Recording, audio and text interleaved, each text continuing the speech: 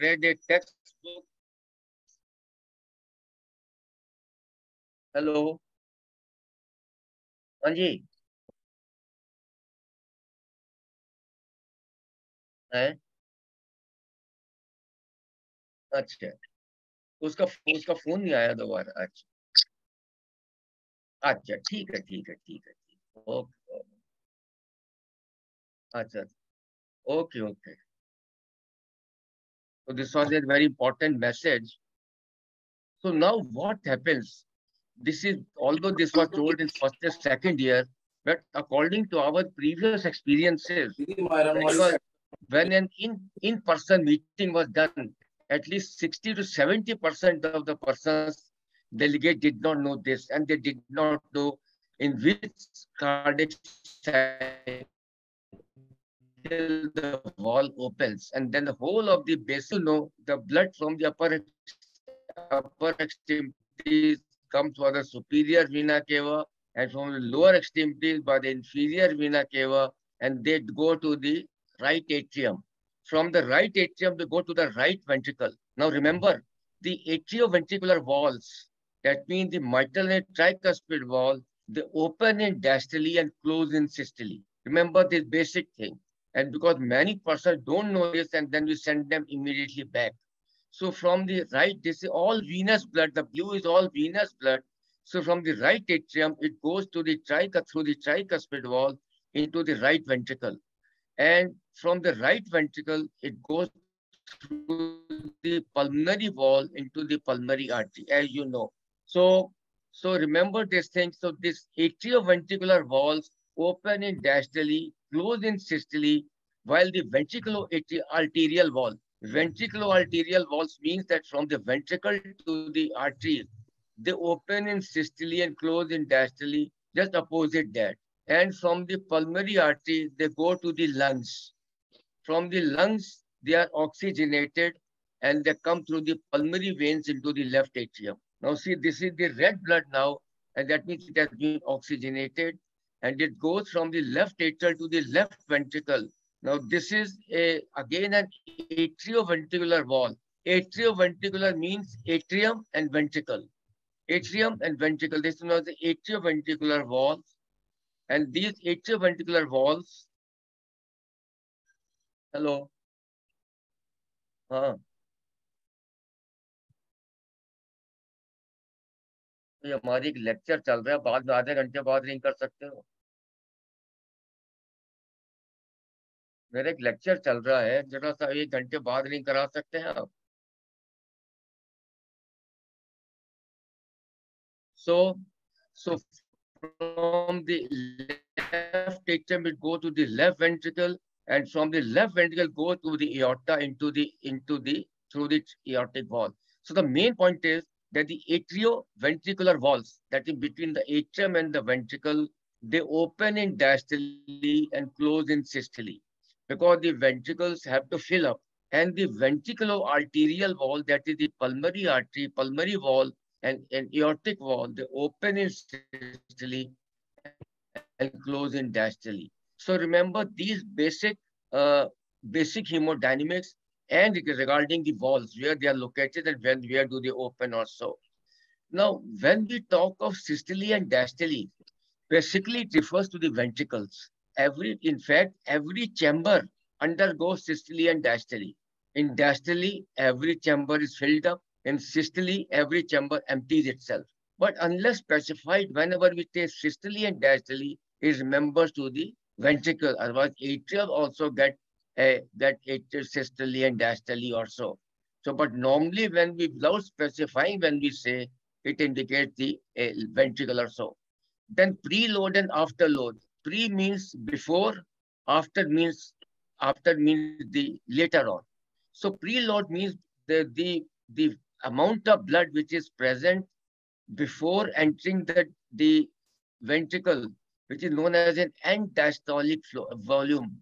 End diastolic means when the, uh, as long as it's filled up, and then after load is, as the name indicates, the load which is which is you fear afterward. For example, suppose you I'll inform is done or so. So remember preload is before the ventricle, it is the filling of the ventricle. After load is, is emptying the vessel. And we'll explain to you the pressure and volume or load and frequency. Remember, we will not bring any physics slide because uh, till now, in last 50 years, I have never understood the physics of Doppler. So we'll only keep one slide of this and that's all.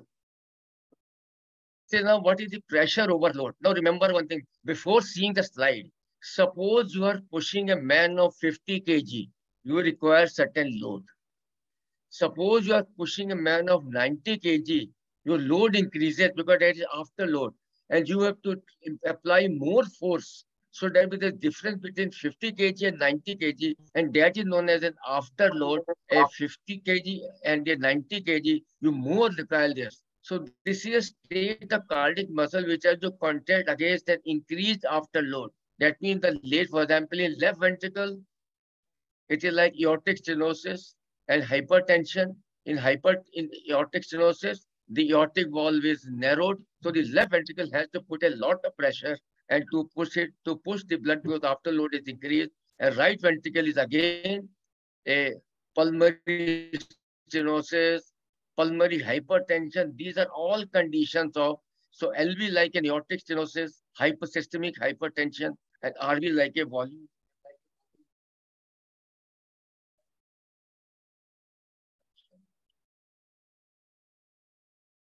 So this is after load.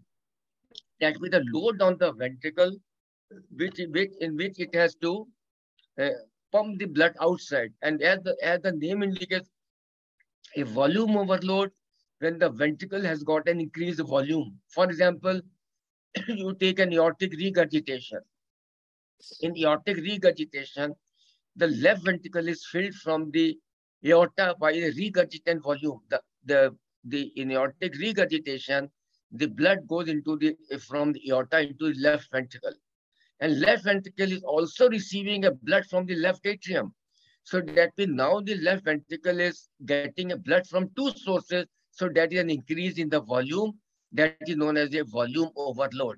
The same happens to, for example, mitral regurgitation. Again, two from two places the ventricle is giving a blood. So that is known as a volume overload like an aortic regurgitation, mitral regurgitation, tricuspid regurgitation. So volume in a volume overload, because the chamber is filled from two sources, the increased volume is there, so chamber increases in size. In a pressure overload, because there is more pressure on the contraction, it is more, uh, more marked by a ventricular hypertrophy. Don't get confused today. They will be again be told to you repeatedly. Now, this is the only slide I have brought for the for the uh, from the physics. See, the sound travels in a in the in the form of a wave. Now, and that is known as a cycle. One cycle is one wave, and you know here you see in one second, one, two, three, four, five. One wave is equal to one hertz. You must have heard the hertz yesterday, and many of them have finished their course never knowing what is hertz. So the number of cycles which are which occur in one cycle is known as hertz. For example, here you see one, two, three, four, five cycles occur in a second, so it is five hertz. Here, 10 cycles occur in a cycle in a cycle, so it is 10 hertz. So when you hear there is a 2.5 megahertz transducer, that means it is it is transmitting 2.5 million cycles per second. A 5 megahertz transducer, 5 million cycles, keeping in mind that one cycle is equal to one hertz. So number of cycles mean the number of hertz. And ultrasound is a special type of ultrasound which is which is not audible by by the human ear, and usually it is more than 20 hertz or 20 cycles or so. Now, that is the only thing we have heard about physics. Now, unfortunately, don't feel it bad, but these are all based upon the previous batches. They don't know what is systole, they don't know what is diastole or so. So this is a this is a very important thing and never so. So those of you are who are doing an echo and you are well expert, they should not mind it because it is mainly not meant for them, but it is meant for the majority. Now remember, if this is an ECG, this is P wave, this is QRS complex. The portion from the QRS complex to the end of the T wave is known as diastole. So this is, sorry, this is systole. And from the end of T wave to the QRS complex, it is known as diastole. So the systole is from the QRS complex to the T wave, and after the T wave is the diastole starts, and P wave is the atrial contraction. So this is known as a systole and diastole, and you should know, and this will help you in your echo studies, even sometimes when you don't have the facility of an ECG. For example, here you see, now from the QRS, from the QRS to the T wave is systole, and from the T wave to the QRS is diastole. So this is systole, this is diastole. Again, same thing. From the QRS to the T wave is systole, and from here to the QRS one is diastole, and this is the P wave, which is atrial contraction. Now, what now suppose how do you happen in acid echo? Now, many of these images you will not understand till today because unless you get used to it. Now, this is a mitral wall. As I told you, now, as I told you, mitral wall opens in diastole, closes in systole. Now, here you see, the diastole starts after the QR, after the T wave. And you see, this is diastole. It starts opening in diastole, mitral wall. And you see, there it closes and it closes at the systole. So even without this, you can say which is diastole, which is systole. This is anterior leaflet, this is posterior leaflet. It's open in diastole and they meet together and close in systole. And you see this close the systole is it goes on for QRS to the end of the T wave. So this is known as ECG plus echo, systole and diastole. Similarly, you see this is the this is the RV. You see this is whatever you see on a 2D echo, the same thing you see on a my on a on a M mode echo. This is right ventricle, this is right ventricle. This is interventricular septum, this is interventricular septum. This is left ventricle, this is left ventricle. This is the posterior wall, this is the posterior wall. This is most strongest echo is always the pericardium, is the pericardium. Now the ventricle contracts in diastole and in systole and relaxes in diastole. So you see, this is systole. Now you see they are contracting in systole and starts from here, from the T wave, from the QRS and goes up to the end of the T wave. And here the diastole starts because everything has to be diastole and systole. So you can see how they combine with it. So everything can be correlated with ECG keeping in mind that cure QRS to T wave is diastole and beyond the T wave is diastole. So now coming to the echocardiography, there are three important things. A clinical information, anatomic information, and hemodynamic information. Clinical information I told you is extremely important. Take don't it take it will not take more than one minute. Take a history of brief history. Suppose, suppose the patient complains of Babu stop it, stop it.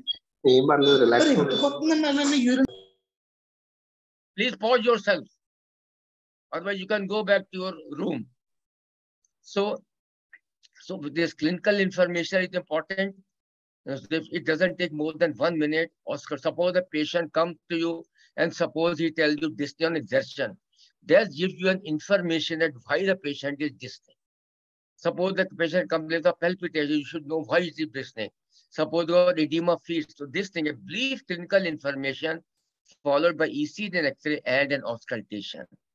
As in the later part of the course, we'll tell you the importance of auscultation. Anatomic information is obtained by 2D echo. Very important. So the all the 2D echo, what is the size of the ventricles, what is the thickness of the ventricles, how are the walls opening. So all anatomical information is provided by the 2D echo, which is very important. And all hemodynamic, hemo means blood and the pattern of movement, all hemodynamic information is provided by the Doppler. So all three are interlinked also. You cannot only one cannot. So you have to do a good 2D echo, all views, and then have a good hemodynamic information.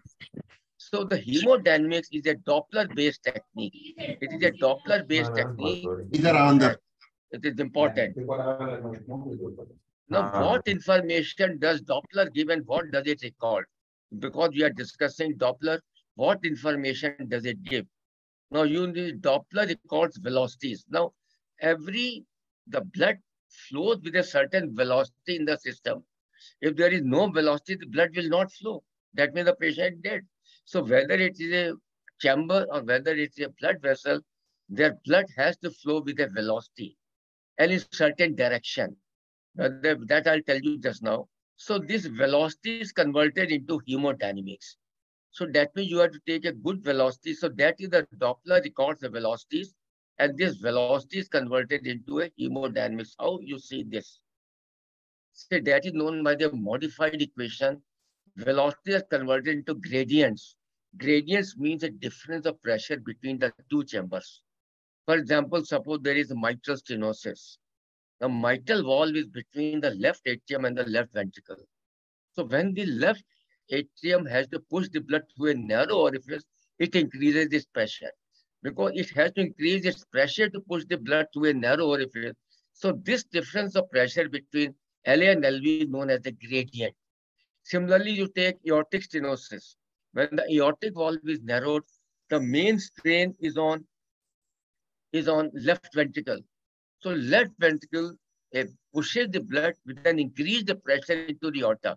So this difference of pressure between the left ventricle and the aorta is known as the gradient. So in a rough language, remember it, a gradient is a difference of pressure between the two chambers. So and great, and it is calculated by 4 into velocity square. Now, it is not very difficult, but later on it will be easy for you. See, suppose you have recorded a velocity of 3 meters per second. Now, according to this formula, 3, 4 into velocity square become 36. 4 into 9 become 36. So that your aim is to get a good velocity. And that is the gradient is 4 into velocity square everywhere. That is automatically calculated by the machine. Your role is to get a good velocity. If, your if your velocity is wrong, your calculations are wrong. For example, I, we don't go into details. Suppose this is a TR jet. Now the TR jet velocity is 5.54, you see. Automatically by the modified equation, it comes into 21, 22. So 4 into velocity square is 122. So your, you, you record a good velocity, measure it, and the machine automatically give you the gradient. So you see here it is already gradient. You have recorded the velocity and 4 into velocity square. Again 4 into velocity square and here 4 into velocity square gives you the gradient or a pressure. So remember this thing. Now this is the only another slide of a Doppler. Now, what is Doppler shift? Now a Doppler always travels in a wave. As I told you, travels in a with a certain frequency or a wave. So when it is traveling, it is with a certain frequency. And it comes back with a different frequency that forward and different frequency is known as a Doppler shift. But to forget about it, you will you will don't don't you will not will tell you why.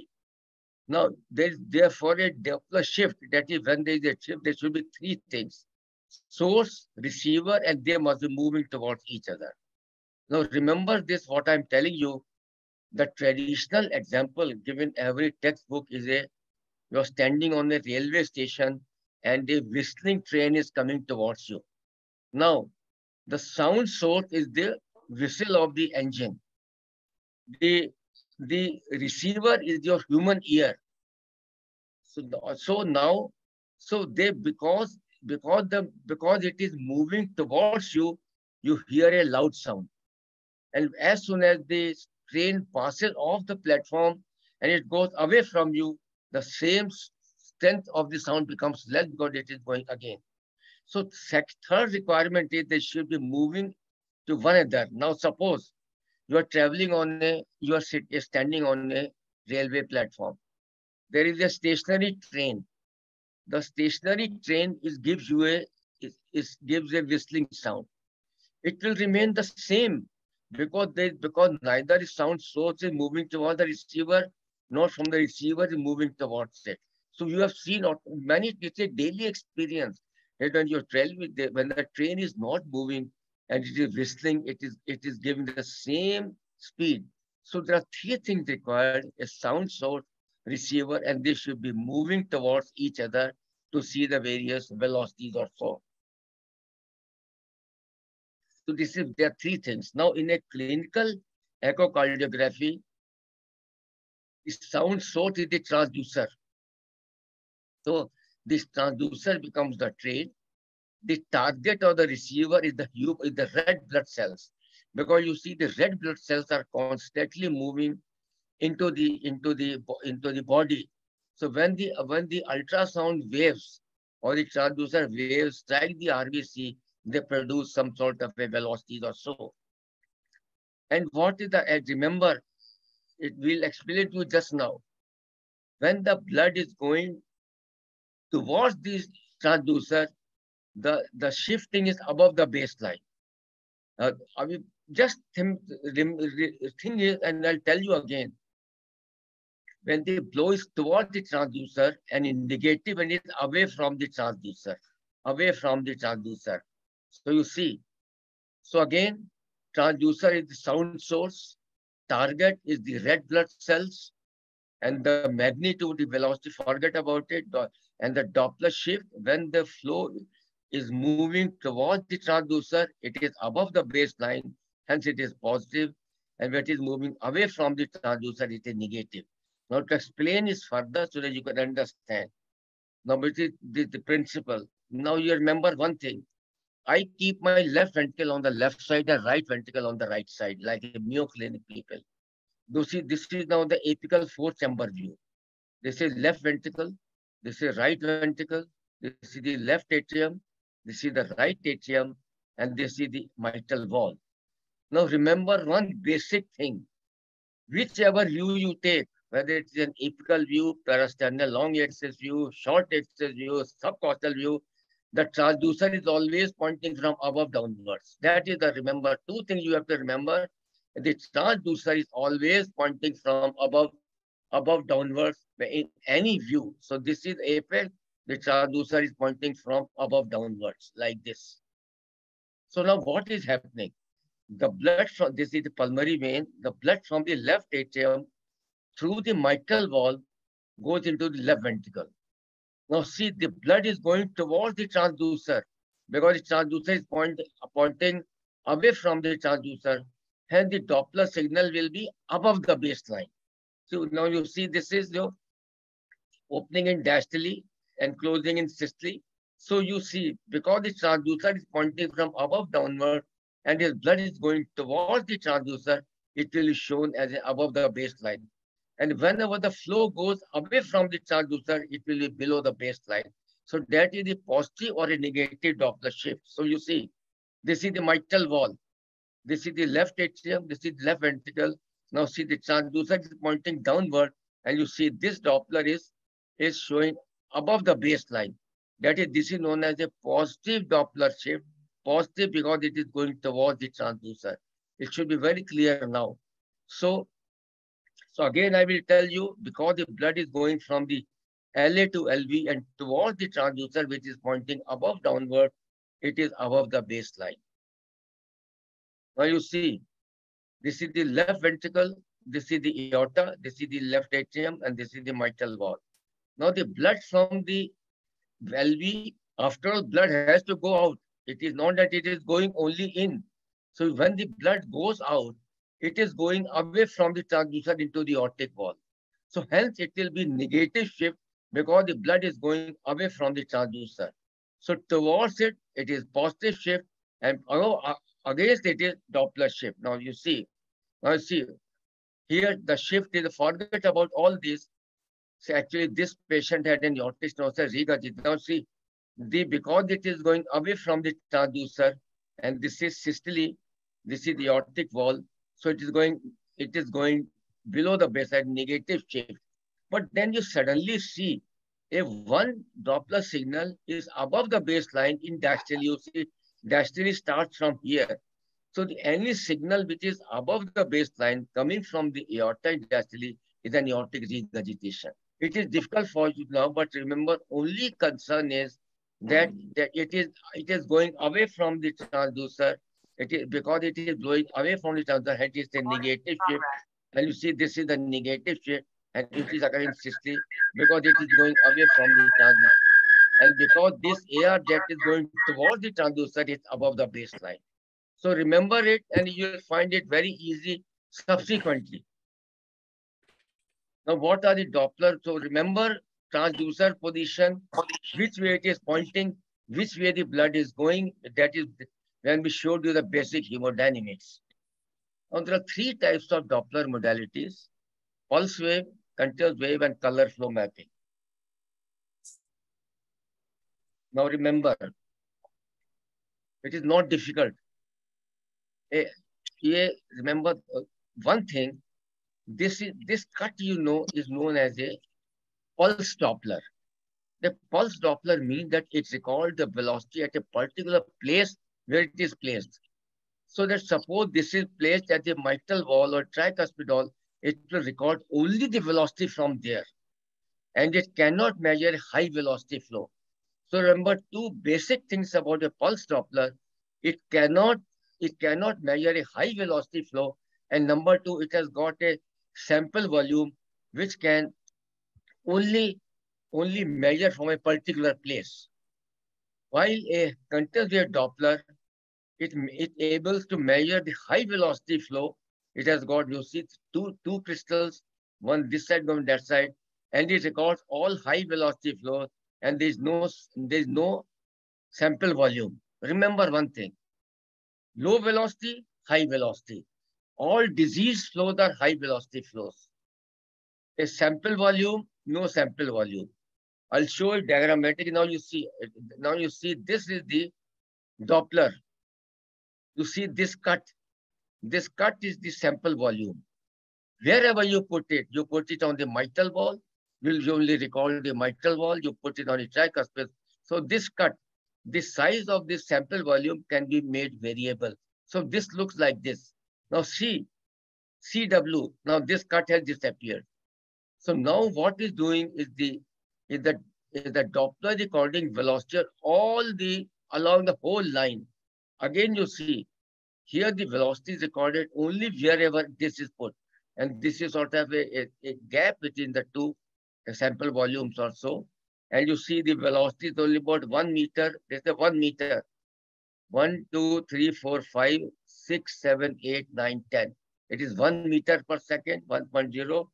And you see now it has disappeared. And the same one has become one, uh, two has become higher velocity.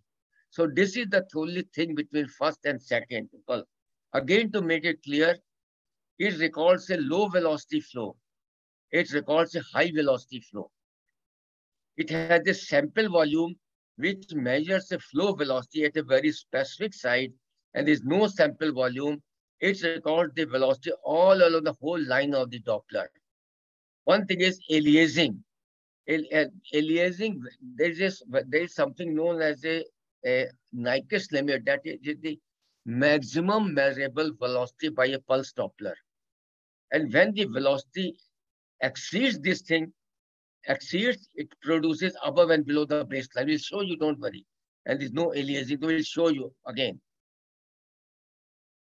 Now you see, we have put the sample volume at the mitral wall. So we are only recording the mitral wall. See, so we are recording only the mitral wall because we have put the sample volume at the mitral wall.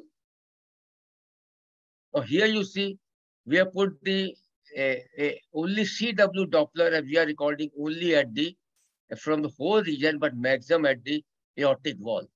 So the main point is that sample volume records the velocity along the whole particular structure, and this record this record whole of the Doppler line. This will be more clearer when we show it a live demonstration to you. So now what is aliasing? Now you see, this is this is a this is a case of mitral regurgitation. We have now this is high velocity flow. We have purposely put a pulse Doppler to demonstrate. Now, this pulse Doppler does not record a high velocity flow, so recording a flow above and below the baseline. That means the flow is cut. It cannot cut also, so that is known as aliasing. Because it is because it is it is more than the alias, more than the Nyquist limit. Hence it is it shows above and below those lines, and you don't know from where to measure and where not to measure. Otherwise, in a Doppler, a, a Doppler, you see a, a whole Doppler envelope within, the, within this Doppler field. This whole Doppler envelope is seen. Here also you see the whole Doppler envelope is seen and nothing is cut. But here you see the whole Doppler spectrum is cut and you don't know where to start and where to do it. So there are various ways to remove it. I will not tell you this physiological means when they slightly increase. Now you take a velocity, ask the patient to run 20 stairs. His blood velocity will increase and he will develop a physiological aliasing. That means it is not, it is a physiological change in the velocity due to exertion or anxiety. Pathological is because of disease. There are various ways to remove this, but I don't want to confuse. There are three, four ways that will be shown to you when you are doing a, a, a live on. But most important is, now see the aliasing, a pulse Doppler above and below the baseline. Now see after CW, it has aliasing has disappeared because now it is high velocity flow. So this here, so that is when you are having a an aliasing. Suppose it's a physiological aliasing, then what to do? Increase the velocity scale, or what you can do, now you see, we have brought the baseline above. So the, the velocity below the baseline increases and we brought above. So, but we'll, we'll not to confuse you, but only to see that whenever you get a aliasing, put a CW Doppler. Because this aliasing may be pathological also. So here you see, this is a 5.7 meters per second. And now here the continuous Doppler records whole of the MR jet and there is a no aliasing. So this will be, so whenever a live demonstration is done, you always tell them to please show aliasing and aliasing is usually found in case of pulse Doppler and never in the CW Doppler. So when you when do you use pulse Doppler? Now, initially forget about velocity across the normal walls and some normal veins of blood vessels. This, of course, will be told later on, the evaluation of diastolic. The main thing is, whenever we want to study a particular site, particular place, we always use a pulse Doppler. Suppose you want to use an hepatic and the pulmonary veins, we always use a pulse Doppler. A continuous wave Doppler is measure high velocity flows. All disease flows are high velocity flows.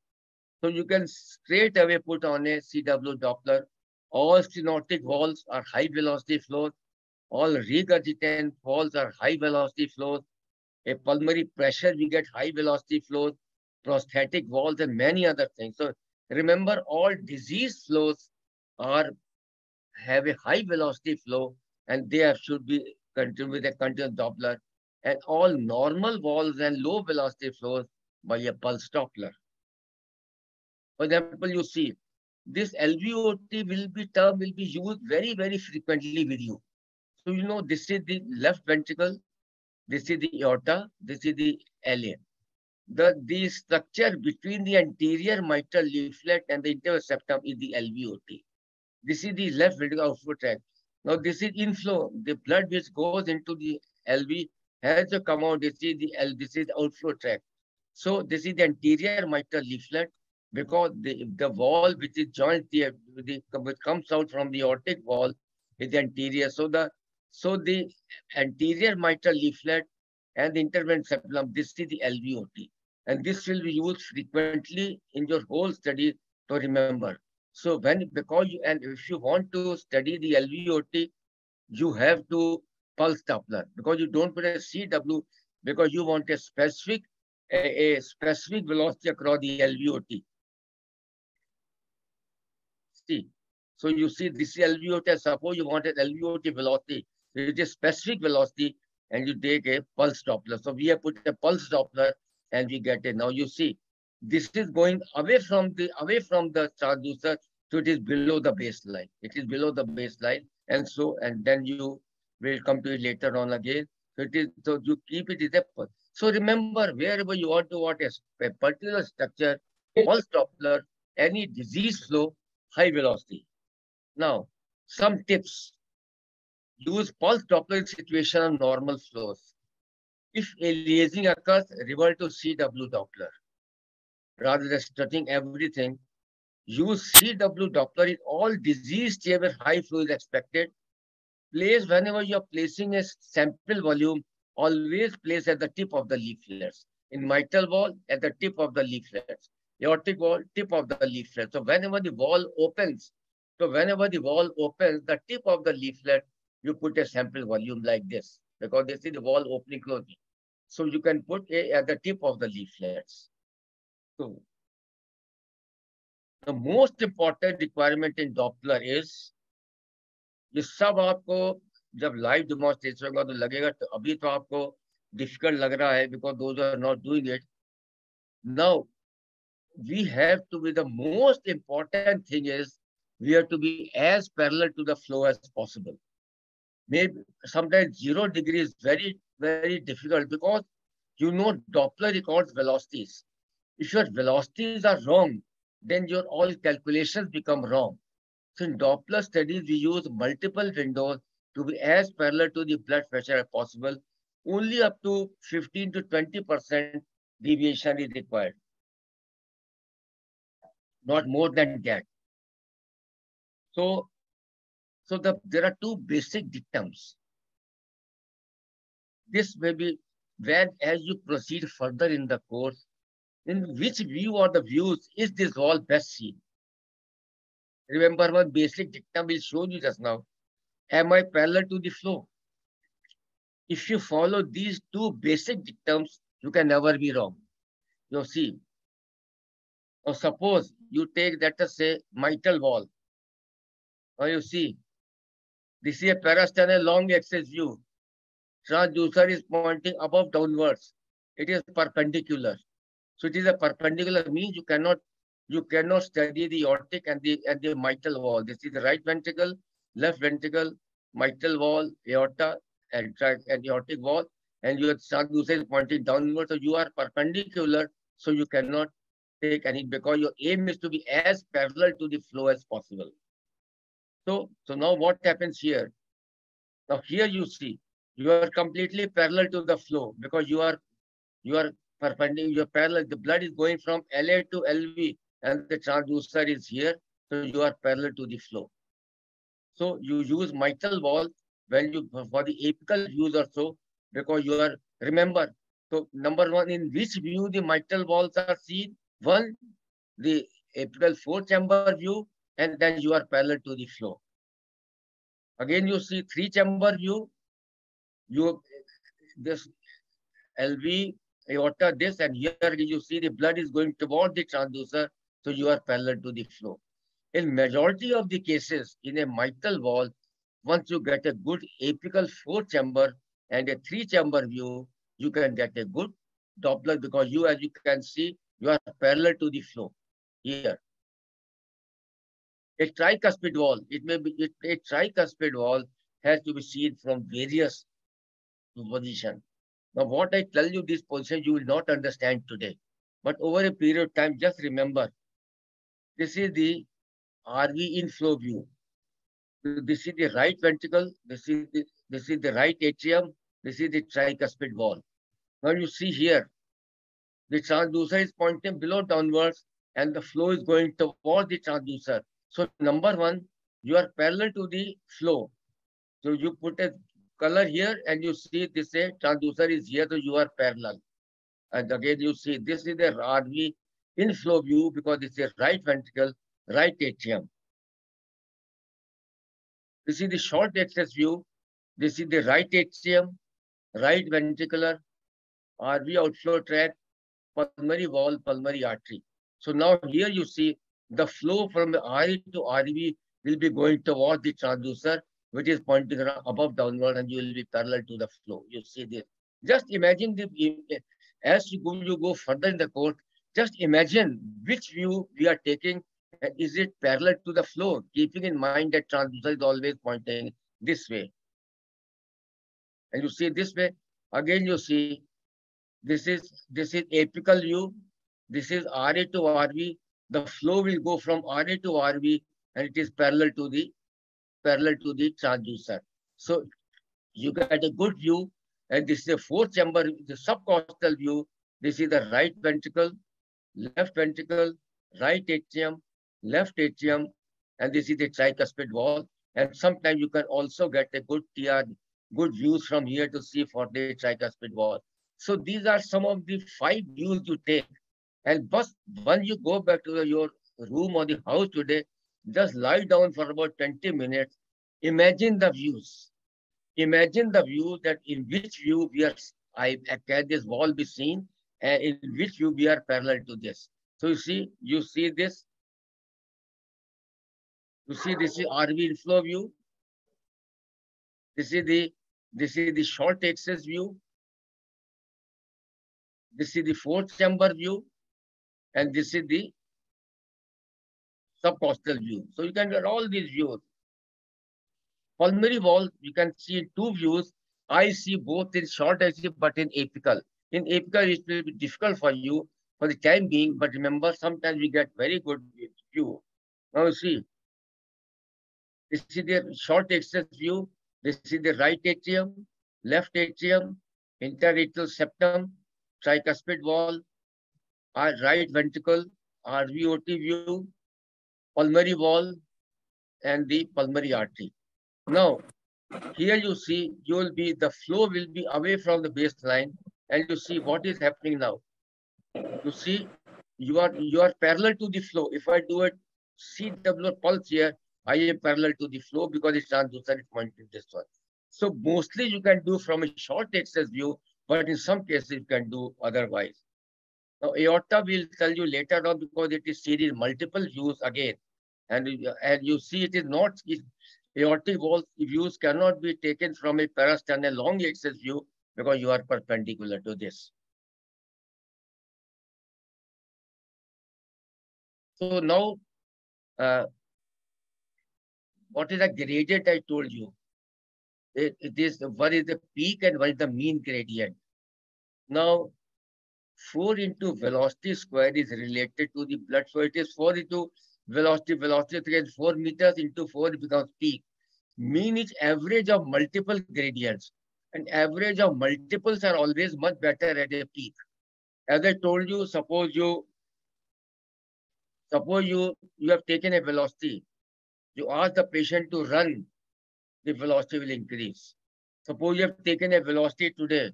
You ask a patient develops a severe anemia or a thyrotoxicosis, his blood velocity will increase. So the mean gradients are more important. So suppose you are asked, in some situation, peak is important, but if you are between peak and mean, say mean. This also you will you will get a latest frequent one that in a simple language, the distance in, in centimeter the blood travels in one stroke is the velocity time integral. It is very important from a prognosis point of view they'll tell you. So now, so these are the three things you should see. Now, how do you see them? You take a, your job is to get a good Doppler envelope. Now, planing, trace this. Every machine has got a knob and we tells you how to trace it. You trace. Now, this is the mitral wall. You see, we have put the Doppler, the sample volume at the tip of the leaflet. It is going towards the transducer above. Now, we have, you see, we have traced it and we get maximum mean, maximum mean, and this is the VTI, 23 centimeters. So, so you get altitude any wall you see or any structure you see, when you planimeter it, you get a peak, mean, and you get a values 4 into velocity square and a VTI velocity time integral automatically. You see, this is the aortic wall. It is below the baseline because it is going away. You trace it, you get peak and mean automatically. Now there are values which are normal, which are abnormal. So this was the patient of aortic stenosis. And you see, we have put a CW Doppler. You see, a CW has been put, no cut, and automatically it gives the value. 4.72 meters is the peak, 4 into velocity square gives you the mean gradient, and this is the this is the mean, and you the VTI is about 120 centimeters. And you see, whenever you planimeter a jet, planimeter a most most echogenic, most echogenic place thing. So this is known as a modal velocity. Maximum RBCs are concentrated here. So the most prominent of the echogenic wave is the modal velocity. So you measure here, slope here. So you see here also, this is the modal velocity and we measure at the modal velocity from, we, we don't measure from here. You, you, you trace from here to here and come back here and you automatically get it. So remember, measure the brightest portion of a Doppler, which is known as the modal velocity. And this is the brightest portion again. And never measure a post-ectopic beat. You see, this is not this is this is this is not a post-ectopic beat, but you see, this is a, this is something known as a will not confuse you. This is known as what is known as a, a, a Doppler Doppler alternans, one strong, one small, one strong. Forget about it. Now see. So how much this in centimeter, this blood travels is the velocity time integral. When we are called in the emergency room or CCU to assess what the patient is improving or not, we only take a VTI. Suppose it is the force Suppose today the VTI is 25, 25 centimeters. That means this is the centimeter through the one slope the blood travel. Tomorrow it is 20. That means the patient, the patient is deteriorating. That means the force of contraction is reduced. It is coming from 25 to 20. Suppose today it is 18 or 13. Tomorrow it is 16, 17. So that means the patient is improving because now the LV is able to put, eh, send the blood to the longer distance also. So this will be auto when you tell you cardiac output, then this will be shown to you. But remember that by, by planimetering any jet, you automatically get the VTI. Now remember two things, very important. In a 2D echo, you get the best results when you are perpendicular to the to the beam. So that is why you get a, a burst and a long axis wide better. So because you see, I told you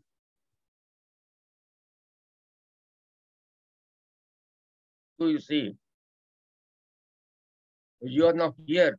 You are, you are perpendicular to the 2D, so you get best 2D image if you are perpendicular.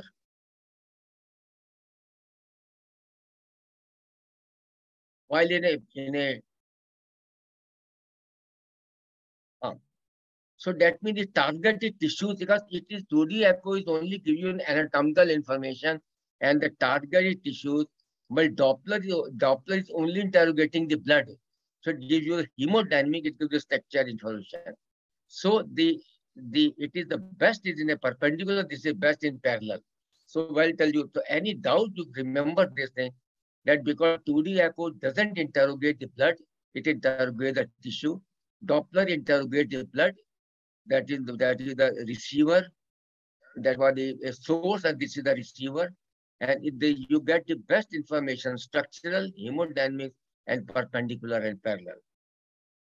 Now, these control panels will be shown to you during the course. So you can see the Doppler gain and this, because you won't understand here, it will be shown there.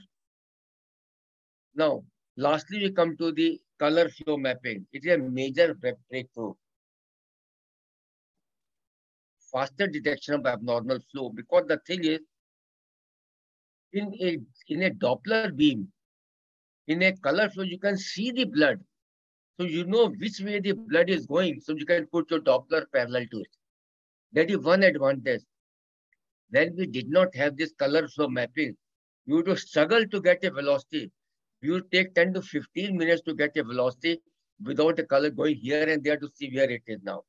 So it guides the Doppler beam parallel to the flow and by universal convention, the flow toward the transducer is red and the flow away from transducer is blue. So remember, this is a this is universal. Again, flow toward the transducer is above the baseline, that is red, and the flow which is away from transducer is below the baseline, it is blue. So red and blue, remember. You remember see thing down there.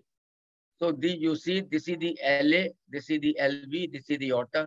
The flow going towards the transducer is of a red color, and the flow away is of the blue color. And the transducer, why the transducer is pointing from above downwards? So you see, by universal convention, flow towards the transducer is red, and away from the transducer is blue. I think this you have yourself seen it, and you can, this value will tell you later on.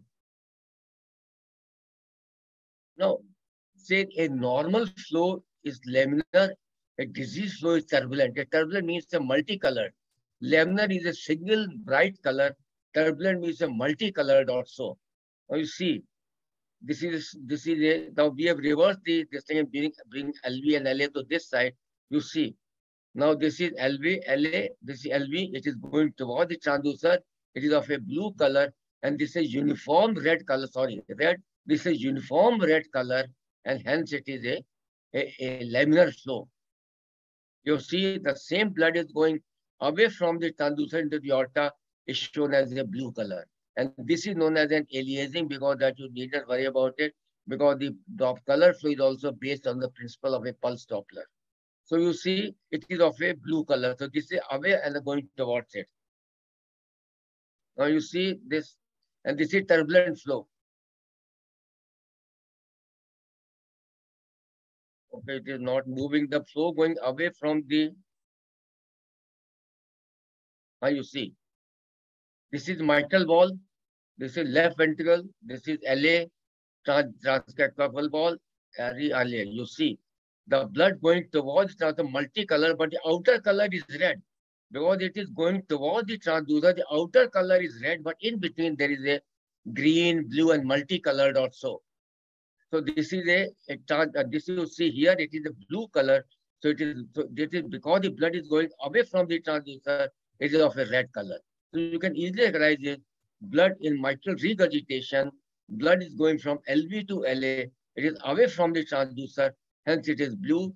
And because it is going toward the transducer, the outer is red also. So this is the turbulent flow. You see, this is the laminar flow, and these are the turbulent flow. Now you see, this is the aortic wall. Again, you see, aortic stenosis regurgitation, you see this blood going toward the transducer has got a reddish outline because indicating that it is going toward the transducer like an aortic regurgitation.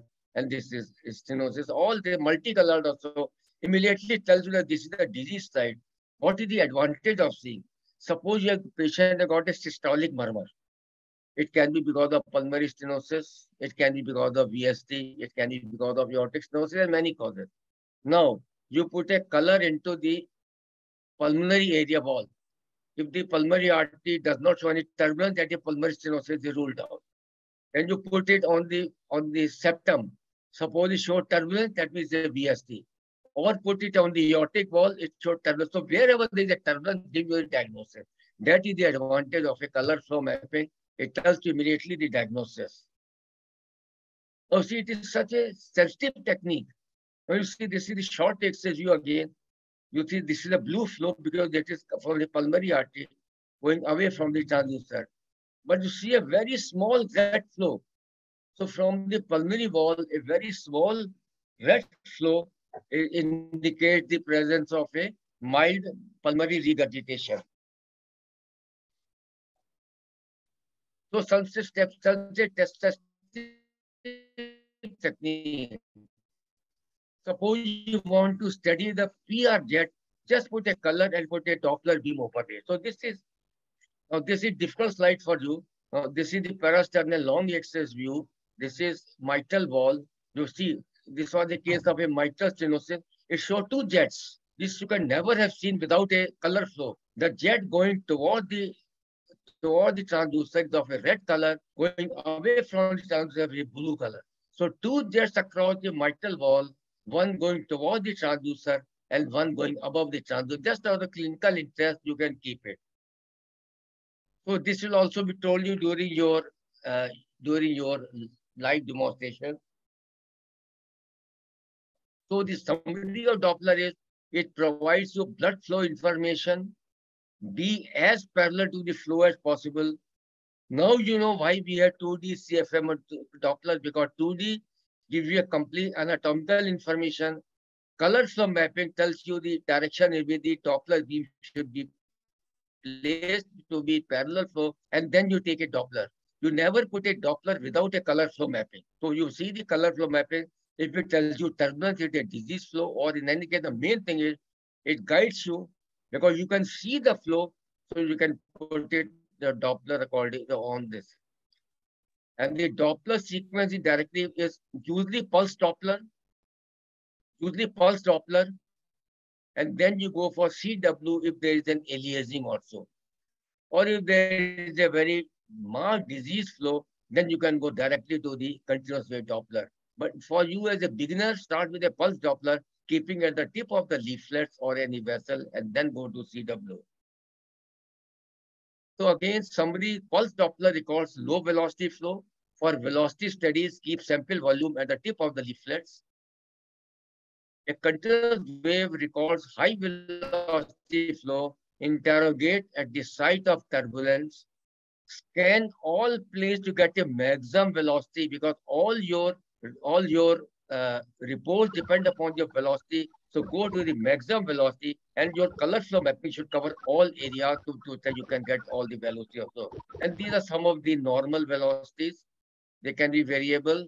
What we always tell them that you see this aortic velocity is almost double this, mitral or tricuspid pulmonary is almost double this. This is the lowest. So these are some of the why why say they variable because this is the average. So these are the few. Uh, you are not concerned with hepatic and pulmonary vein also. So this is the end. of what any questions you want? Any clarification? Though I told you, you will get much more clear idea when a live demonstration is done from our studio. But still, any clarification? But please read now if you if you don't read it because now the whole lectures will depend upon 2D and Doppler. So they are the foundation of your course. So unless you are not clear about these two things, you can you can never proceed further. Read it. Anything which is not clear, get a clarification. There is always a clarification, and during and what when you read anything which is not clear, you are you get a for example, I did not show you aliasing that will be shown there. What are the how to get a good Doppler colorful that will be better will be shown at the live demonstration. But today or tomorrow, read this read this this Doppler and then see what velocity, what is the problem you get, and you get clarification. But anybody wants a clarification? Good evening, sir. Rakesh over here. Uh, Dr. Ajoy you, you can open up your mic and ask the question. Yes, sir. Thank you. Thank you, sir. Such a brilliant lecture. So I actually want to hear once again the slide uh, that showed the correlation between ECG and echo. Oh my goodness.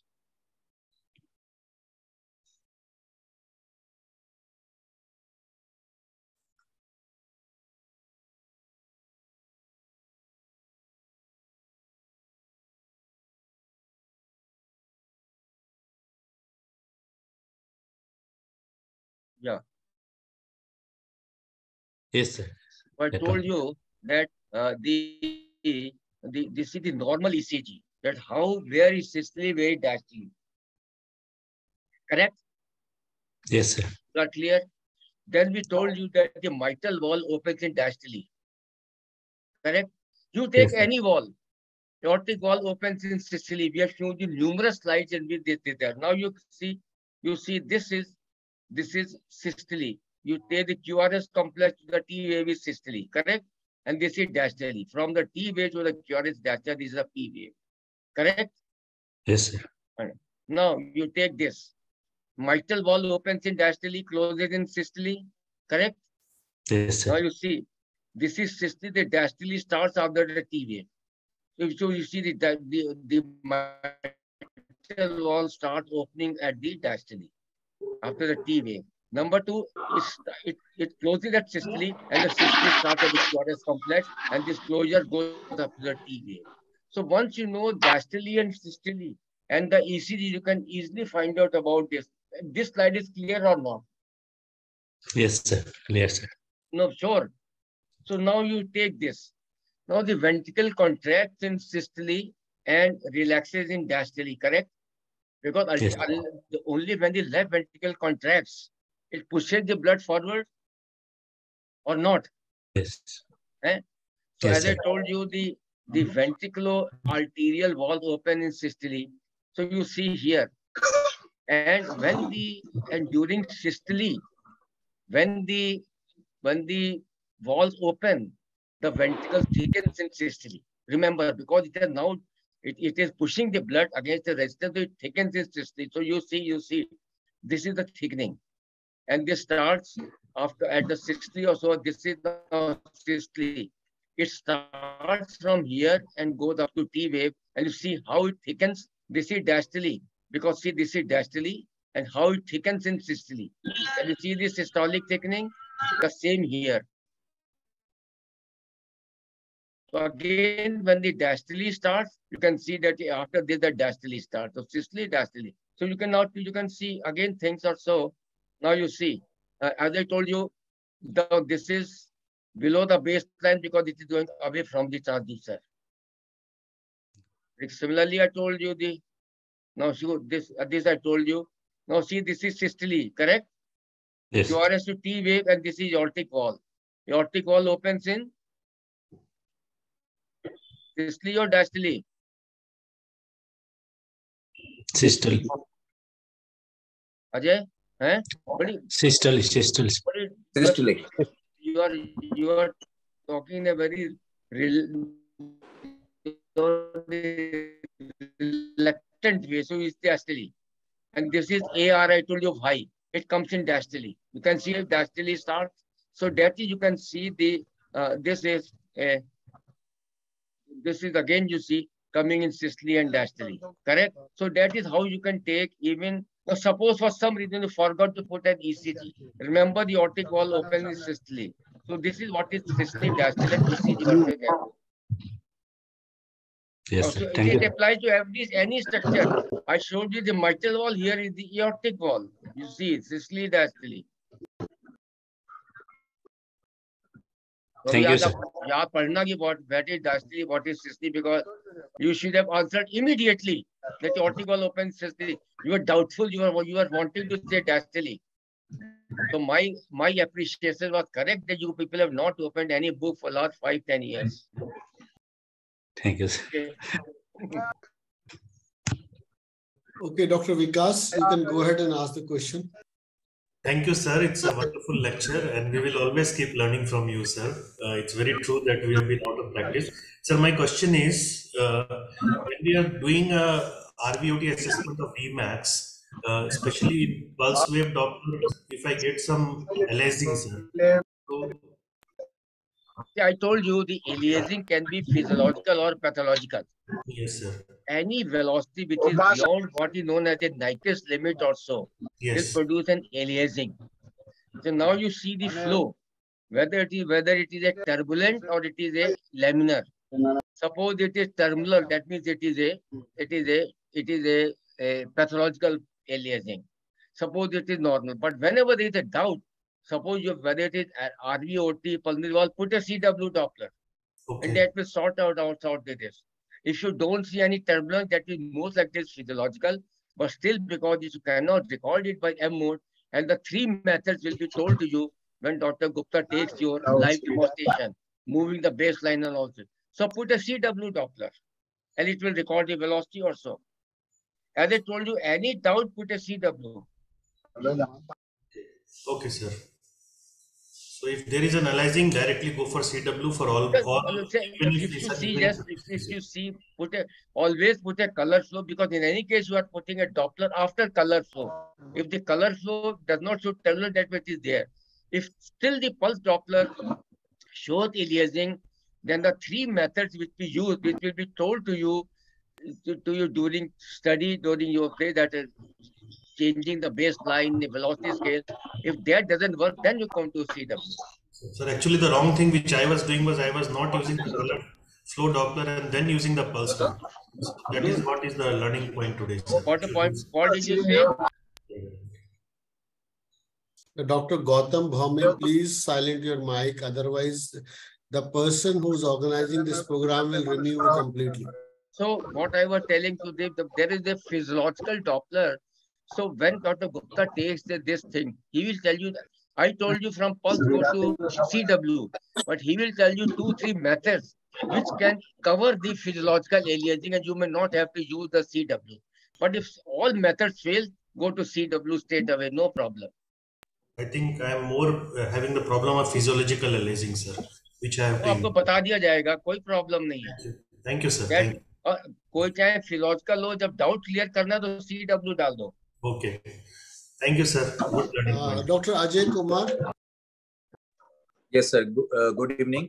Sir, I want to uh, ask an, uh, uh, question on that ECG echo core, uh, slide, which you were uh, earlier answering on the first question. The, uh, the mitral uh, uh, volume was showing two peaks. So I want to know why it is showing two peaks in Mitral? that, what did you My, say? About the, that, that Doppler slide that shows uh, two peaks for mitral uh, velocity. Oh, you want to see the mitral velocity? Yeah, uh, I, I just want to know why it, uh, it was showing two peaks for that mitral uh, volume okay, Doppler. Okay, okay, okay, okay.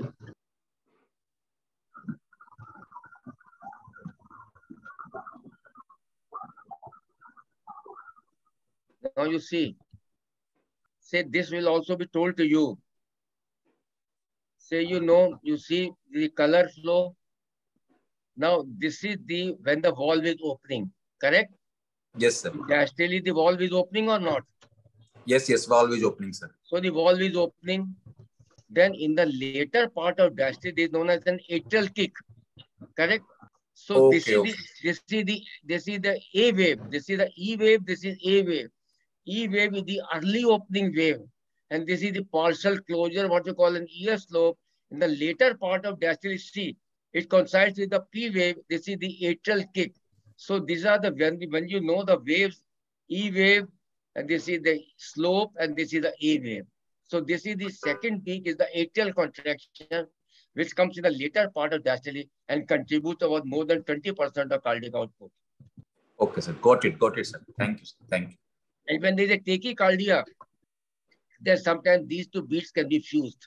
And that is the problem because unless because there was a tachycardia, the two beats can be fused and you can only see one beat unless the heart rate is reduced. Okay. Okay, sir. Thank you. Dr. Saifuddin Azad, please go ahead. Um, Thank you, sir, for a nice presentation. Sir, uh, my first question is, uh, in uh, atrial fibrillation or uh, in multiple ventricular ectopics, there is a variation in Doppler sheet, uh, which Yeah. one in was in Yeah. decrease. So, which one we will consider for management, a measurement? Say when we when So, we that's my question. you are you are trying to go to the end of the course when we take this when we take a mitral stenosis talk then we'll tell you between sinus rhythm and atrial fibrillation when there is a it, when there is a as i told you when there is a ventricular ectopics never take a post ectopic beat or post ectopic beat is always a a big beat it is strong beat i have got it i've got a, a tracing but i did not show you so avoid a post-ectopic beat. That is number one. Clear? So, so go on recording Yes. your, your Doppler. If it is a pulse or serial, go on recording. And wherever you get a, no a post-ectopic beat, you will freeze it and measure it. In atrial fibrillation, when we tell you it is very difficult, but you go on recording. At some stage, once you'll see when you go on continue recording, at one stage you will find a, di- a long diastolic slope. When there is a long diastolic slope, you freeze it and measure the velocities also. Sir, uh, my second question is, sir, in, in case of severe MR or severe TR or severe AR, uh, Pardon, uh, pardon, pardon. uh, in case of severe MR, TR or severe AR, where I will uh, place the uh, sample volume of cursor in tip of the leaflet or in as I told you when there as I told you in a severe MR AR TR never use a pulse doppler. Your basic lecture you are missing all all the disease flows are high velocity flows correct yes you have Yes, to use sir. CW if it is severe MR you have to use a CW correct yes Otherwise, sir. how can you pulse Doppler you see aliasing? Say you see, you see this is aliasing pulse Doppler, MR, and by CW it disappears. So whenever there is a pathology, it is not your fault. You will gradually get used to it. Whenever there is a disease flow, always use a CW. Now TR, PR can be physiological also. There are about 70, 80, 90% of patients can have a normal PR and TR. You can start with a pulse Doppler, then go to the CW. But a whole high velocity flow that I told you have to be done by the C. I have written here to measure high velocity flows across stenotic valve, regurgitative valve, PA pressure, all this, use a CW. Remember this basic principle also, correct? thank you sir Uh, Dr. Gajanan, Shishpalji, yes, go ahead, Dr. Gajanan. Uh, yes, sir. Uh, I have one doubt about. uh, Little louder, you have to speak a little louder. Uh, yes, sir. Uh, sir, uh, when we uh, uh, take the uh, long axis view, then uh, how can we, uh, we how can we interpret the uh, uh, flow wave? That is, that is the flow wave. That is the uh, towards the transducer or against the transducer. as I How told can, you, uh, basic remember, as I told you, the first slide I told you, the transducer is always pointing above downwards, irrespective which view you take. That is LVOT view, parasternal long the transducer is again pointing away downward. And this is LVOT. So the flow is going away from the transducer, correct? So will Yes, it below the baseline or not? is long axis view, sir? The same thing. You are saying parasternal long axis or, or Yes, sir. Yes, sir. Yes, sir. parasternal. Yes, sir. Parasternal long axis view, sir. No, in parasternal long axis, I told you that that you never. No, here you see. Yes, sir. Now you you are perpendicular to the flow, so you don't don't do anything. Whether it is mitral Okay. wall and the aortic valve, the transducer is always pointing above downwards. So it is perpendicular, and a perpendicular will not give you any velocity. So you do, I told you remember two dictums in which view the wall is seen. Am I parallel to the flow? Correct. Yes. So once, as I Yes. told you, once you go back to your room or your house, just lie down for 30 minutes and just imagine what Dr. Gupta has told you about the views and remember which views I'm taking and what are the structures in it. And then correlate it with the Thank you. sir. Uh, Dr. Jasleen, you can go ahead now. Ishmael. Uh, good evening, sir. So good when we evening, take ma'am. uh, so when we take uh, velocities in the different views, as in case of tricuspid valve, uh, we're taking the velocity in the four views. We take the average or we take the highest velocity. No, no, say what? Always take the view. Very good question.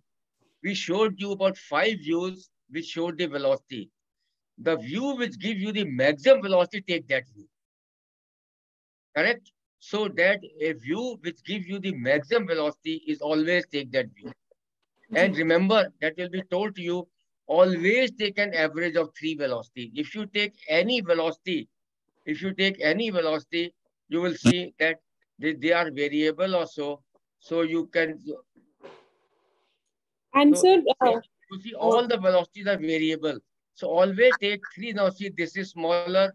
So number one, ask the patient to breathe out. Hold the breath. Once you have, say, once you have taken a color flow, you fix your Doppler. Once you have fixed your Doppler, ask the patient to breathe out and hold the breath. And you take an average of three. You see all the velocities are there, an average of three velocities. And remember, your question was if you opt all the views, whichever view gives you the maximum velocity, take it. For example, aortic valve, when we tell you, we, we take from multiple views and whichever view gives maximum, we take it. uh, yes, sir. And one thing more, sir, when we are examining the mitral valve, when we have a mitral stenosis, is the green flow, that's the turbulence. Is the turbulence seen in the mit in the atrial area or the ventricle area? Like we're See, seeing the blood is going, blood is going from atria to ventricle. Yes, sir. Correct?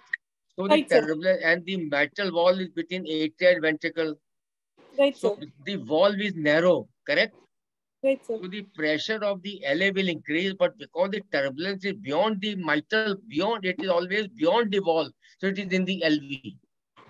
It's in the LV. Okay, sir. uh, because it is beyond the wall. If Okay, it's sir. about AR, it will be, it is MR, it is, will be below the baseline. But in a pure mitral stenosis, it will be above the baseline. Right, sir. Thank you so much. Jasleen तुम कहाँ काम करती हो Sir, I work at Chandigarh. अरे बाप रे अच्छा चलो good Thank you, sir. Good question Anybody else would like ask question, any questions they have in minds? They can raise their hands. Hello, sir. कौन बोल रहे हैं आप? Uh, I am Dr. Mukhtar Ahmed from Lucknow. Mukhtar, go Good ahead. evening, sir. Good, good evening, sir. Sir, uh, I want to ask one thing. Just uh, you told before, before doing the echo, we should assess the patient clinically. If Yes. BP is high and tachycardia, so we should do the echo or uh, postpone for See, tomorrow. I would what? say that, for example, I'll give you an example. Suppose you any hypertension will affect your your findings, especially aortic valve. Any tachycardia will affect your findings. So we, when we come to the, you just hold on. When we come to the mitral stenosis, we'll tell you what the tachycardia. We ask the, we give the patient a small dose of beta blocker and ask them to come again. So, so during it, the rapid heart rate and it uh, and BP, it will always be there. It will it will always give a fallacious result. Okay. Okay, you. Ahmad आप कहाँ काम करते हो लखनऊ में Sir, I am in Lucknow. Actually, I am faculty in Integral Medical College. In medical college ICMR integral medical college है sir integral university है उसमें medical college है अच्छा, I joined med I joined KG Medical College in 1954. तब आप पैदा हो गए थे सर मेरी 1966 ही पैदाइश है। थोड़ा लुक आ, मेरी आ, मैं 1954 में था। चलो हाँ, हाँ, बहुत बहुत सीन है। सर मैं एक्चुअली मैं थोड़ा और डिटेल बता दूँ। मैं मैं सऊदी में काम किया हूँ। मैं तीन चार साल पहले इंडिया आया था तो ज्वाइन कर लिया come come to the next anybody else wants any question can we go ahead with doctor Padma Rita Peddi just coming in a minute just coming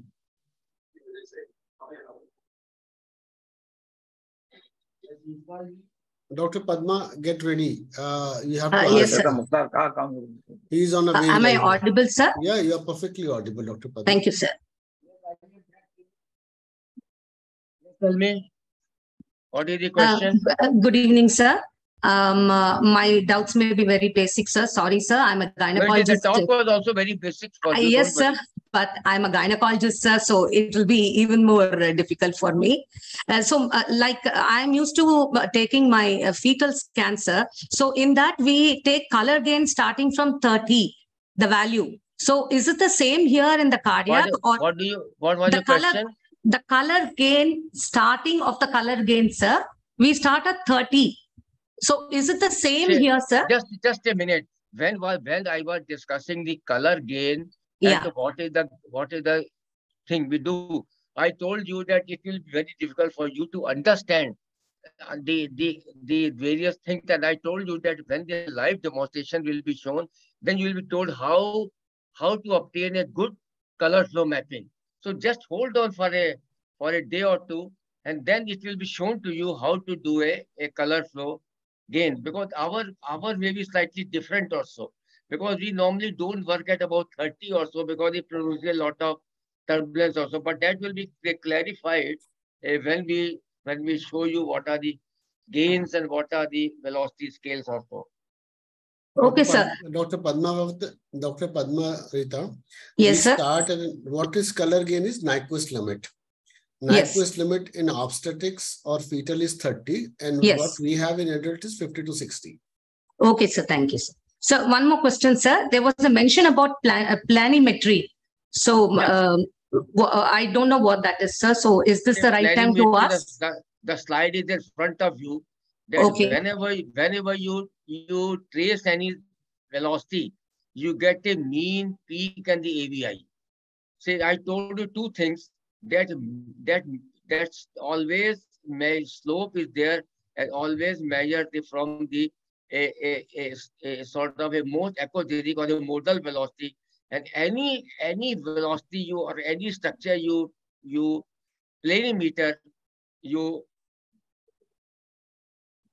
you get automatically a peak velocity mean velocity peak and mean gradient and a vti but it everything anything you measure you planimeter you automatically get these three things.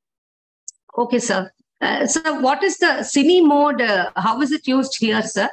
Pardon? Cine mode, C-I-N-E, cine mode. Uh, uh. How is it used here in the Doppler, sir? No, we don't do cine mode, I think. Okay, sir, because we do a lot in fetal echogram. So I was wondering if it is done here. No, no. So here we here we here we don't use any sort of a, a anything which you use in a fetus or so. Okay. Don't do that much also. Okay, sir. Thank you, sir. Thank you for the um, uh, doubts cl clarification, sir. Thanks. Uh, Dr. Arun Singhal, please go ahead now. Unmute yourself and go ahead.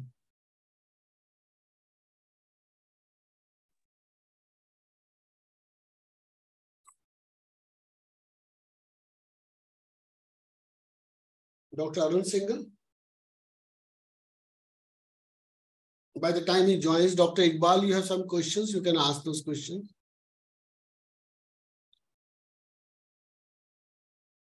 Dr. Iqbal. Dr. Arun Singhal, any question you want to? I have a question uh, regarding pulse through continuous Doppler. Uh, we can see that pulse Doppler has some limitation like arealization. Uh, then in that case, it can switch to continuous wave Doppler. Your, My your voice is, is, not, voice is you repeat the cracking. Your voice is not clear. Dr. Hello, am I clear? Dr. Iqbal, your voice is cracking, you know. Hello, am I clear now? Yeah, remove your mic, speak on a laptop. That'll be better because your mic is very close to your mouth. You re- lower your, yeah, just bring it down to your neck. Look, look at me. Uh, my mic is somewhere over here, way away. Yes, yes, sir. Yes, sir. Uh, am I speak slowly clear, now, sir? slowly, very slowly. Better, bet, slightly better. Uh, sir, my question is, uh, uh, there is some limitation in pulse wave Doppler. Uh, in that case, we can switch to continuous wave Doppler. So my question is, uh, why don't we use continuous wave Doppler in every case is very first beginning? Sir, his So question your is, question is why not take Pettit Doppler in every case? his question is, there's a limitations with pulse wave Doppler. So why not we take a continuous wave Doppler in every subject? No, because because you want to sometimes yeah, you cannot replace a pulse wave Doppler. Suppose you want to take a LVOT velocity, you have to use a pulse. I told you the pulse wave is only meant to record a velocity at a particular site. Site If you take if you take a CW Doppler, it will record velocity all across this Doppler wave or so. So when you you cannot function without a pulse Doppler, when other indications will be told to you. Suppose I say you I want to study the normal velocity of the mitral valve. Now you have to take a pulse Doppler. Suppose I want to do a diastolic function. All that that are done a pulse Doppler. So the thing is that the this cannot be replaced because it can record velocity at a particular site and not at, the, at, the, at anywhere also. So that is the reason that it cannot be cannot be done also. Yes, Any, sir. that is still it. clear or not? Clear, sir. Dr. Iqbal, at your level, always start with pulse Doppler. As Parashar sir has told you, if you can't adjust the Doppler spectrum by increasing the limits of uh, the scale I'll give you or moving the example. Suppose- baseline, then only you shift it to Suppose you want to have an LVOT velocity, only LVOT velocity. So you have to, will you use a pulse Doppler or a CW? Pulse Doppler. Eh? Pulse Doppler. Because you want only CW, pulse Doppler. A CW will record all over the lines. So that means the, suppose you want to record a LVOT, you have to use a pulse Doppler. So you, pulse Doppler cannot be replaced because it is the, it is the backbone of of recording any at a particular site. Well, thank you, sir. Got it. Okay, Dr. Walihul Islam, please go ahead.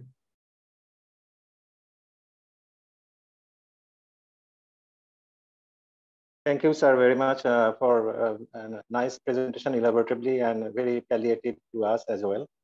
Uh, my question is that uh, in sometimes while we are doing continuous uh, wave Doppler, then uh, we did not find CFM nicely, but we get the Doppler. So Pardon? when, whenever we are we are me measuring the continuous CW measurements of velocity yeah. of any of the pulp, so in, we are not getting the CFM. Color flow mapping was not good, but we are getting uh, the velocity of the See, pulp. I, that is what we do sometimes. See, I have in, when, when I was taking a lecture of hemodynamics, I showed some cases where the color flow mapping was very bad. Maybe because of obesity and many other things. So sometimes what I do is put blindly a CW Doppler. Suppose I see a tricuspid valve opening and closing, yeah. and I can't see a color in all the views, five views or so. So I put a CW Doppler at the, the mitral valve and sometimes the quality velocity, and I've been successful in some cases. So if the, the color is definitely there to guide you about the Doppler, but there are certain limitations when you can't see a Doppler, or you can go to other views. If other views we will will not will not confuse you with other views. There are other views which can which is known as a sort of a, a special RV view, inflow view, RV views that that can show you the color flow mapping also. So if suppose anyway you cannot see a color flow, put a blind Doppler. Always correlate with mm-hmm. clinical findings also. Okay. Dr. And suppose that the patient has got a flattening of the septum, RV, RL, enlargement, other things. So, so then you then you correlate with other things. That was the clinical correlation is important. And another question is, sir, uh, during uh, does bradycardia is having any impacts of uh, measuring the velocity? Yes, as I told you, any tachycardia will increase the velocity, the especially the peak velocity. As I told you that suppose you take a peak velocity, and suppose next day the patient gets a severe anemia, the, the peak velocity depends upon the amount of flow across that particular wall. And that amount of flow will be depending on the exercise, anemia, thyrotoxicosis. And that is why I said that mean is more, more better in that case. But suppose you take a swab studying a pulmonary stenosis, where you take only the peak velocity or so. So definitely the, the tachycardia, any tachycardia probably above the rate of 100 will always interfere with our recordings or so. So it is on individual case. You cannot give a brand opinion to individual case that yes, if you ask one thing, tachycardic recta will definitely help in, uh, in will is a, is a limiting factor also. For example, we do a diastolic function. They say tachycardia, we always write. If the patient is not willing to come next day, we always write that because of tachycardia, we comments on the diastolic function cannot be fully made. Thank you. Always there is there definitely a limiting factor. Thank you, sir. Uh, Dr. Ahmad But if the patient can wait, there's sometimes give a dose of 25 milligram of beta blocker or some something and then see. Yeah. Dr. Ahmad Haq. Yes, sir. Good evening, sir. Sir, I am Dr. Mamun from NICVD Bangladesh. Yeah. So my question is, uh, in HOCM, uh, sometimes we, uh, when measure the LV, LVOT gradient, it is so high in PW that it causes aliasing. Then what to do? Did I tell you that any disease flow you have to put CW Doppler? Okay. So who told you to put a pulse Doppler in HOCM? No, sir. I, I, I was, I was wondering that in HOCM, I have to, I have to precisely measure the LVOT gradient. So, yeah, so here, what you can suppose, suppose you, now what I do and you what you won't. Now suppose, now suppose you put a pulse Doppler here. Suppose always remember from practical point of view, whenever you get a HOCM case, always rule out a subaortic membrane, number one. A subaortic membrane, suppose you and a pulse Doppler will not give you any information. You put a pulse Doppler here, then, then you cannot get any information. Now, suppose the aortic valve is not thickened. Aortic valve is fully opening. That means it is not an aortic stenosis. Then sometimes what I do is go to the right parasternal window, see the aortic valve velocity. So you put a CW Doppler, don't put a pulse Doppler also. Now, whenever you take a HOCM case, always see at the mid LV level also. Now there may be there can be both a, a, a mid LV and the LVOT obstruction. So you you you you see by the pulse Doppler but ultimately you have to come by because any any value more than 30 is indicate is indicative of a, a significant gradient across the in the home HOCM. 30 is the limit also. So you have to use a, a this thing. So when the, when you are giving a live demonstration, they will be told, don't get confused. Everybody confused, get confused even up to the fourth and fifth day of the conference at GS Pulse and CW. So we have repeatedly told you when to use Pulse and when to use CW. So if you are getting a HOCM case, you have to use ultimately a CW. Okay, thank you, sir. Thank you for uh, the clarification. Can I add, sir? Uh, Dr. Ahmed, the difference in continuous wave Doppler at uh, HOCM would be, you'll see inverted ski slope shape pattern. The dagger shape, though, yeah. Dagger shape or ski slope, ski slope shape pattern. Whereas in you have to keep a pulse wave Doppler. Since you will not be able to contain the Doppler spectrum, you will have to move on to continuous wave Doppler, as Dr. Parashar sir has told you. So and that case, as you rapidly said that in aortic stenosis, it is a sort of a early diastolic, later pansystolic, but in these cases, it is a dagger shape, late systolic. So that will help you identifying the gradient across that. LVOT. And remember one thing, we get many cases in which they, they by mistake put an put a CW on the MR. So you see that MR is above. Make your color Doppler window so small that you are only interrogating the LA, uh, eh, the LVOT, not the MR. Otherwise, you'll get a very high velocity. So there, there, आपको सब बताया जाएगा. Don't worry. Okay, sir. Thank you. What Thank day you, you want? Uh, Dr. Rahul Bansode. Uh, good evening, sir. Sir, thank you. Uh, thank you for your very nice and uh, very basic lecture for us, sir. So my basic question is uh, regarding pulse wave. So uh, uh, what should be the ideal gate size uh, for pulse wave? No, that depends upon variable. It should be three to five millimeters or so. It should yes, not sir. be very large the more large it is, it will cover a wider area. So about three yes. to five millimeters is the size of the of the pulse mode or so. Yes. So that if it neither is too small, neither is too large. Because you want okay. to see at a specific site also. Ah. Yes, sir. Yes, sir. And so one more uh, for CW. Uh, what should be the location? Uh, like uh, uh, you have told uh, for pulse wave that it should be at the tip of the leaflets. So the location will be yeah. at the area of the turbulence. Area of the In turbulence. color flow mapping, when you see the turbulence, yes, and sir. then you are as parallel to the flow, that is the that is the thing. In a, you have to see this turbulence. Suppose you are seeing a, a turbulence in the pulmonary valve. Go to the short yes. except put a CW parallel to the flow. Yes. So wherever yes. you see the turbulence. Yes. Whether it yes, is VSD, whether it's anything, you can put it also. Yes. At the level of the at the site of the turbulence. Yes, sir. Yes, sir. Yes. Sir. Thank you, sir. Thank you for clearing uh, Dr. Pankaj. Uh, sir, good evening. Uh, it's a very basic question. Uh, I get difficulty in recognizing the jet direction by color Doppler flow mapping.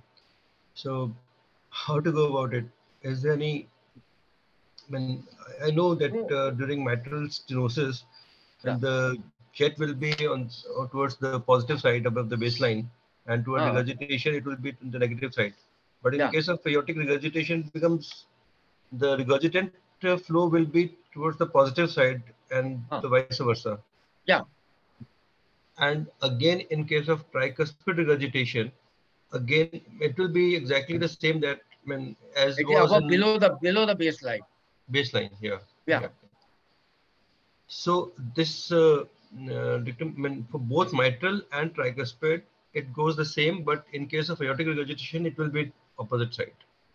say the basic thing I told you, just remember, flow towards transducer is positive against negative, that's all. In an aortic regurgitation, blood is coming from aorta to LV, correct? And Yeah. this is the LV, what I am showing in that, you see, this is the LV, this is the aorta, correct? Can you here see this? Yes, sir. With Yeah. aortic regurgitation, the blood will come from aorta to LV. So it is going towards the transducer. So it will be a, it, will, it will be a positive Doppler shift, correct? Yeah, yeah, yeah. In a mitral regurgitation, the blood is going away from the transducer, will have a negative thing. Same the trans- tricuspid regurgitation is really against the baseline. So anything basic principle remember, and that will take you a few days when you really read it also. Towards transducer positive, against transducer negative. Whether it is a color, whether it's a Doppler or anything. Yeah. Thank you. कल तुम लोग पूरा देर detail में पढ़ना ये topic Yeah. Have you got any any book to read? इन लोग को राकेश को ऐसा मटेरियल मिला है पढ़ने के लिए कि नहीं Sir, we have sent, they have sent the book. We have sent the book already, sir. तो ये तो पढ़ो तो उसको and then clear your doubt before your next live demonstration from the studio. Anybody else? Dr. Kaji Muhammad Rubayat. Sir, thank you, sir, for your nice and elaborative uh, presentation, sir. Sir, my question is, uh, according to the fluid dynamics, sir, the central part shows the highest velocity. So should we put, should we put the uh, uh, sample volume in the central part just parallel to the central part or no, in, see, the... when you are checking the volume then yes. you put it at the annulus level but when you are it's the central it, it depend, doesn't depend the central velocity is all right now remember that when we say the prosthetic valve we always take the side jets or so but when you are taking a pulse Doppler, it is always put at the tip of the leaflets also. And then because we are not taking the volumetric assessment also. So what was your real question? Sir, my question is: Should we put uh, uh at the at the just center part of the uh, uh, uh measure, measurement that uh, should we put the? So, like what I told you, that it is sometimes believed that when you take a volumetric measurement, then you put at the annulus level. But if you take the velocity, you put at the tip of the leaflets. Okay, sir. Sir, another thing is that, sir, whenever a patient with tachycardia or bradycardia, sir, is there if if if if it is uh, if you have to do uh, the measurement in on the spot side, you need to do the measurement. Then any anything that uh, uh, mitigate this problem, like uh, to measure these issues in both cases, sir. Like So you are meant to say 2D echo, 2D echo or Doppler echo. Doppler, sir. So, so when there is a bradycardia, is no problem. When there is tachycardia, you can expect a slightly increased velocity. That's all. Okay, In a bradycardia, also the next beat can be a stronger beat also. So that doesn't matter. That is why I said the as long as it is within the as long as it is within the limits also, it doesn't matter. Suppose it is one or maybe 1.20, it doesn't matter much. So definitely take tachycardia, may you can get slightly increased velocity, but that is the that is expected in those cases. Sir, sometimes in sir, sir, sir sometimes uh, in complete heart block, sir, there is some uh, uh, one bit is stronger bit is there. So uh, at Say that time, a, say what we do in a complete heart block. So when you see multiple beats, we always take an average of multiple beats also. Don't go because some beat will be strong. For example, after a block, the next beat will be high or so. Yes, sir. In those cases, you the the velocity. Remember one thing that in velocities doesn't matter that much if there is a complete heart block. But again, you can always mention that this that the velocity is very variable because of this. This thing, and then you take an average, give the minimum, maximum. Oh, thank you, sir. Thank you, sir, for in your a. TR, remember in a TR velocity, always take in a phase when there is a breathe up. Breathing that I said, when the pulmonary hypertension will be told, they will tell you that in which phase of respiration you should take it. TR velocity. Thank, thank you, sir, for your nice presentation. Always ask the patient to hold breath also in some in some situations. Dr. Shubhra, please go ahead. Hello, sir. Thank you, sir, for the nice presentation. I've got a question that you said that we should keep always the Doppler to the parallel to the flow. And in some cases, say for example, uh, eccentric MR or AR, we feel very difficult to make the uh, make it perpendicular. So what can be done in those situations? In those cases, for an MR, I don't think that there'll be any problem. But in any case, when you are seeing by the color flow mapping, so, and then you are seeing the MR. So you, when you say you are trying to calculate the velocity of the MR, correct? Say what happened that, that, that I got some cases in which the MR was of a low velocity when there was LV dysfunction. Your question was that suppose you are interrogating any jet and you are, despite all efforts and all views, you are not able to be as parallel to the flow. So you okay, write sir. in your report that despite all efforts, take multiple views, you are not able to parallel. Hence, the the velocity values may be slightly variable. That's all. I said always be very, very honest in giving a reply. Always say that if you are not able to collect it, but I'm told, but I see if you take various views and you try something, you will be always be trying to be parallel to the flow. But suppose, for the sake of a theoretical discussion, you are not able to be, then right there that the value can be slightly variable. For example, whenever we do an echo, in the end, I always write the, the various hemodynamic values could be variable due to atrial fibrillation. In atrial fibrillation, they're all, if you see many of the research in the research in the international media, they exclude all hmm. cases of atrial fibrillation. I always write in my report that the various various hemodynamic parameters could be variable because of atrial fibrillation. You take mitral stenosis, some area will be 1.8, some will be a 1.2, some will be 1.2. So you always give a very honest report also. Thank you, sir. Thank you. Thank you. Dr. Dr. Ajay, you have two questions. Please come up and ask your questions.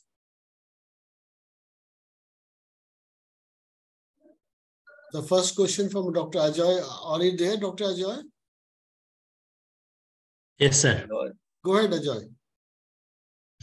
Sir, I asked, uh, is there any difference between uh, Doppler effect and Doppler shift? No, no. I think it is a good question. They are they are just depending upon the when the Doppler beam comes in a certain frequency, and they are going with a different. They go with a different frequency, because depending upon the movement of the structure also. But for all your all practical purpose, you think it is it is not going to matter much in your clinical work also. Yeah. Yes, sir. Thank you. Clinical work, you have to be parallel to the flow. That's all. Uh, Dr. Gajanan? Sir, what is the tissue Doppler? We'll touch that topic later on, not at this present moment. Okay. Thank you. Dr. Padmanita again. Hello, sir. Um, uh, Doppler velocity is to be measured at the tip of the valve, sir. So yeah. in mitral, is it uh, anterior or posterior or any, what do we do, sir? Say the, if you see, if you see this mitral valve, correct? Yes. The mitral valve is opening? Yes. Correct? Yes. You have to put a sample volume here, not in the LA.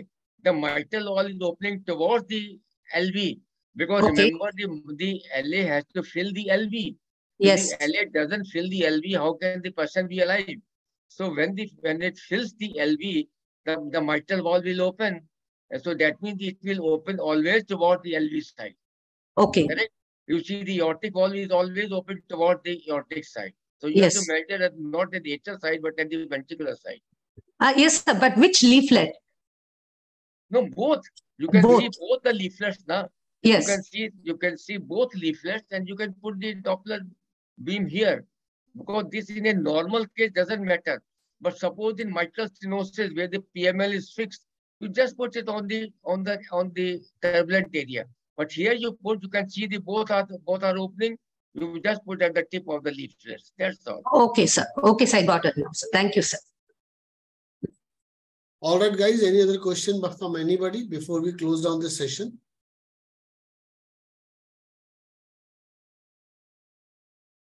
I I'm would sure. suggest that please, please read today.